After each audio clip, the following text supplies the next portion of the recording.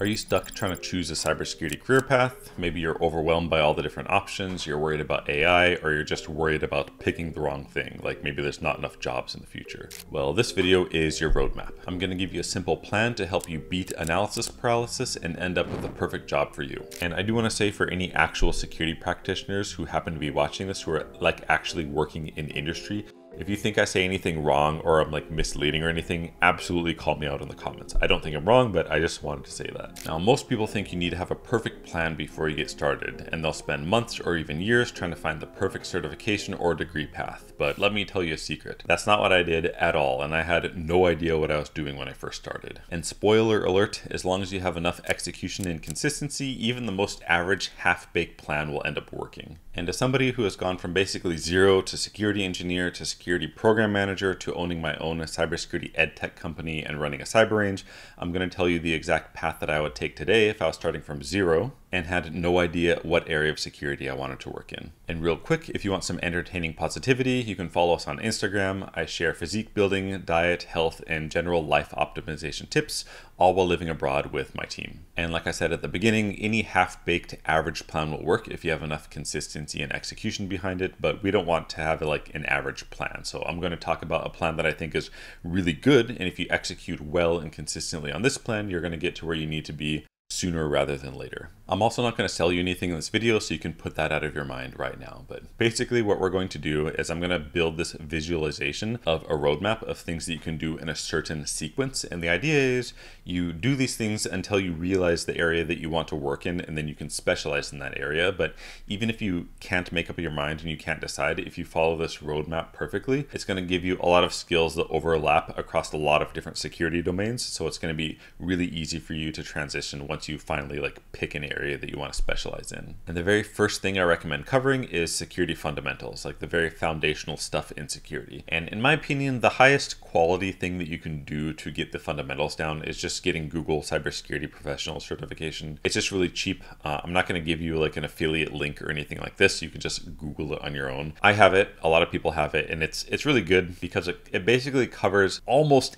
everything that Security Plus covers and more stuff because it has a lot of SQL and Python in there as well. And I believe you can work with a SIEM as well, and there's some virtualization stuff that you can do, like working in an actual environment a bit. It's just a really good certification, and it will give you a lot of context to a lot of different security topics. Um, if you have extra money though, after getting the Google Cybersecurity certification, I do recommend getting uh, CompTIA Security Plus. You'll get a, a discount voucher after completing the Google one. So in the end, like if you get Google and the discount, getting both Security Plus and the Google one will be cheaper than just getting Security Plus on its own, assuming you pass the Google cert the first time and it takes you less than two months. Alternatives to this, if you don't want to spend any money, is just going through Professor Messer's uh, CompTIA Security Plus playlist and just making sure you learn everything. And we also have a Security Plus exam practice question deck as well for free, which I'll put a link for in the description. And just a reminder, everything I'm recommending at this foundational level, it applies to almost all security jobs and like most of IT jobs. So you don't have to worry about studying something that's not in use. So the next level is the transport level or network technologies more specifically. So I generally recommend um, either just getting CompTIA Network Plus or just studying for that material the same way. Like you can study for uh, Network Plus with Professor Messer's content and you don't have to necessarily, you know, get the certification, but it will help your resume a lot if you do. And alternatively to Network Plus, there's uh, CCNA, which is Cisco Certified Network Associate. And CCNA is better than Network Plus in every single metric that you can measure, like the objectives. It's it just covers so much more and it's more hands-on and after you get security plus you'll know how to actually build a network and set up the routing protocols and you'll actually understand how switching works. It just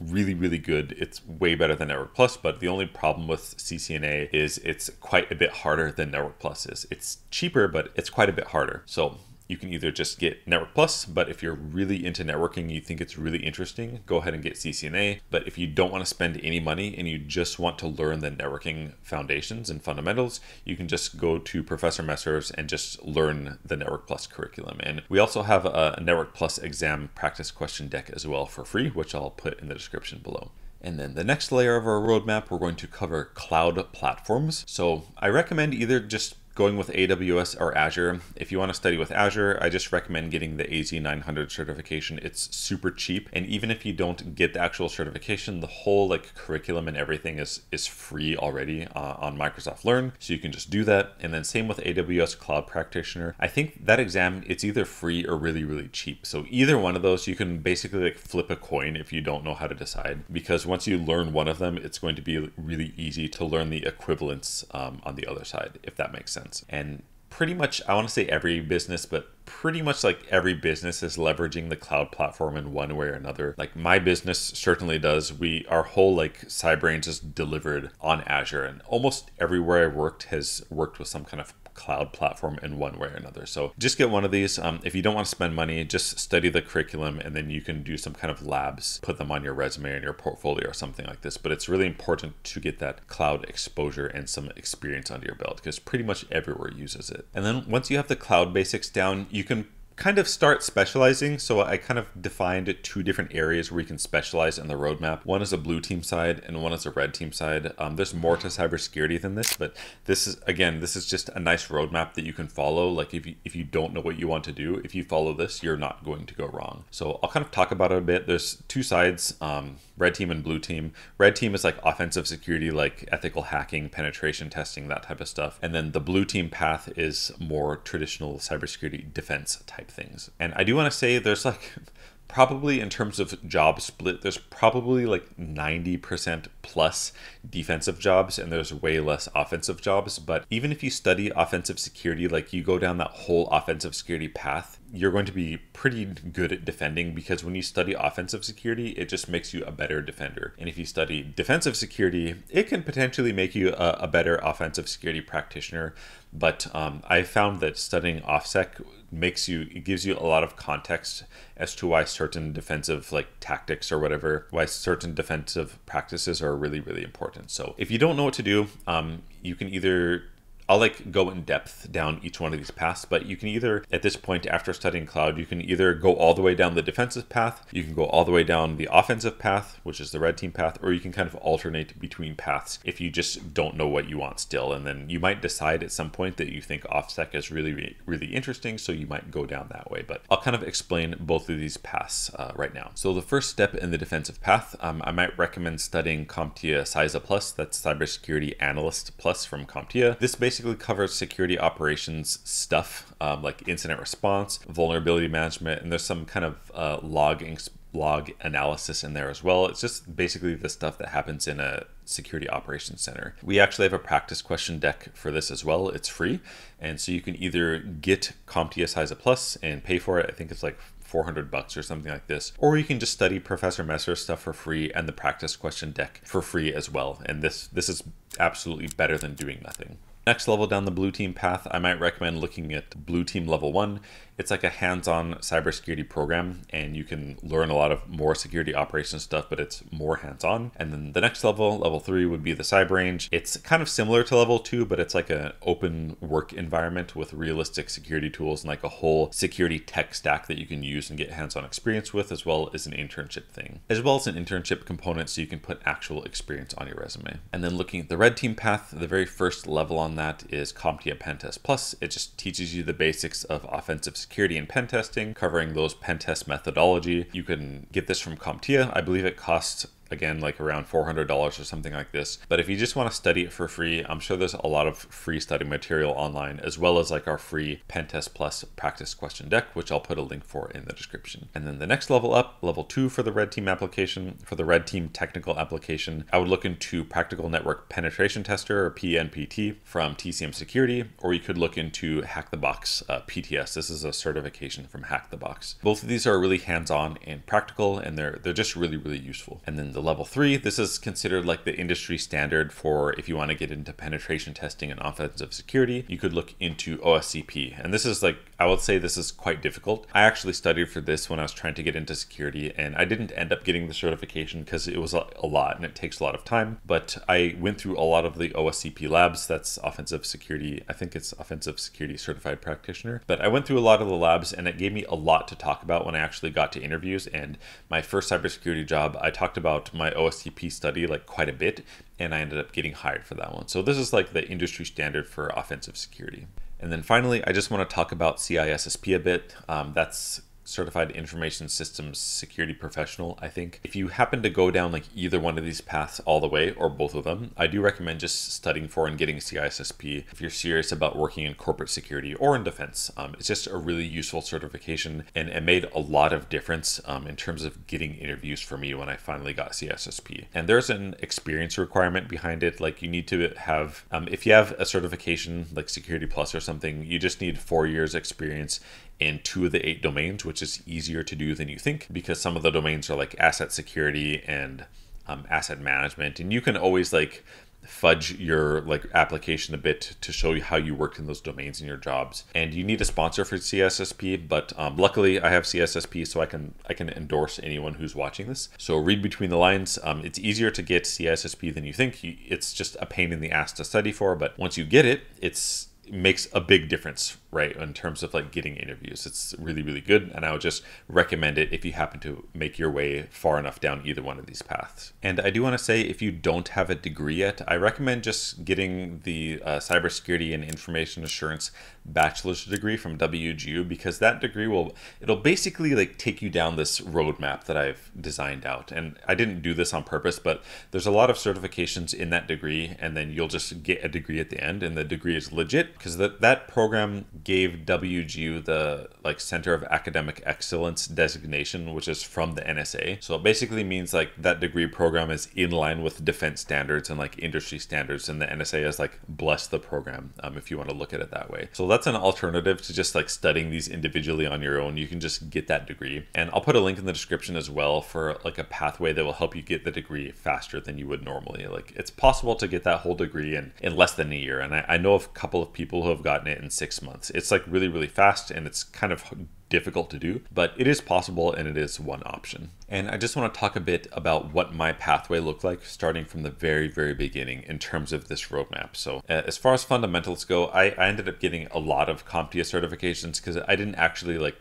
know what I was doing. So I ended up getting like A plus, Network plus, Security plus, uh, Project plus, and Server plus as well. And I studied for Linux plus, but I, I didn't take it. So that, that was my fundamentals level. And as far as transport goes, um, I did have Network plus, like I said, and but I actually got CCNA as well, and I studied for CCNP route, which is kind of the next level up from CCNA. And then for cloud platforms, I, I didn't actually get any cloud certifications, but I ended up building a lot of projects inside Azure, and those projects led me to be being able to work at Microsoft because I, I got an interview at Microsoft as a contractor, not like a full time, but um, I got an interview and I talked about how I used their cloud platform to like build my projects, and they were pretty impressed by that. And then I ended up getting hired at Microsoft based on that, and then I got a lot more cloud experience um, while I was actually working at Microsoft, and I I ended up um, at that point I ended up just like skipping all this other stuff like this level one through level three on on both sides. I didn't know any better, so I just started studying for uh, OSCP. Oh, I actually got CISSP actually first before I studied for OSCP. So I, I got CISSP, and then I started studying for OSCP because like I didn't I didn't know what to do right, so I just wanted to be like a hacker, I guess. So I was studying for that, and then because I had CISSP and like a bunch of these other certs and like projects, I got an interview as a senior information security um, engineer, no, senior information security analyst. And then inside of that interview, I talked about OSCP a lot, and I talked about getting root and um, like you know cracking, like hacking into like the OSCP lab. And I talked about it, and I framed it in a way that let the interviewer know that I really understand how to defend and how defensive security works and, and everything like that. And I just ended up getting hired. Like my, ironically, my first cybersecurity job had a senior title in it because I, I kind of worked in IT already, but I did all of this stuff already and I had a lot of projects and I just ended up getting hired as a senior information security analyst um, at that point. And I never got OSCP, I just studied for it, but I did get all those other certs that I talked about. And the reason why I think this roadmap is so good is because it just gives you a super foundation and it will kind of diversify your skill set. So when you happen to get that interview inadvertently working with some technology that you you're not really familiar with or you haven't worked there yet or something, you have a lot of foundation and a lot of context for other things.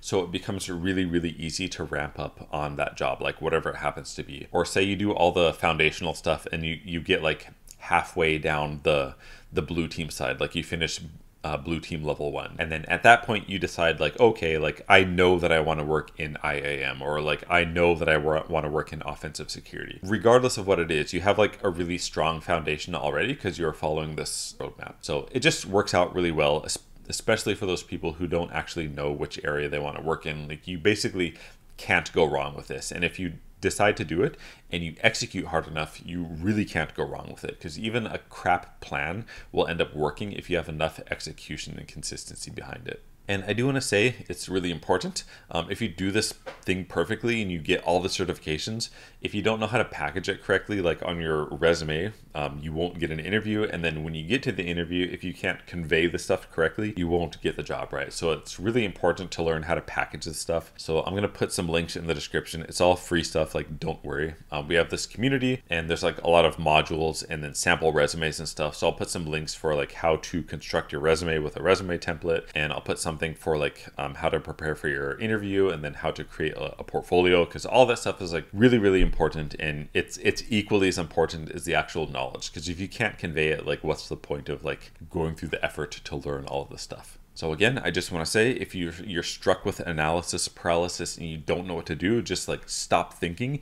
and just follow this roadmap. And if you execute consistently, like you don't give up and you just do your best and and be consistent, eventually you're going to land on something that you like or you'll you'll get a job eventually. It's a mathematical certainty because everyone like gives up at some point like people will give up like sooner rather than later. You just have to be smart and then pivot if you need to and keep studying and be consistent and improving over time and you you will get a job and you will break into cybersecurity eventually. It's a it's mathematics. It's just function of time and like effort over time is basically what it is. So yeah, follow the roadmap and don't give up.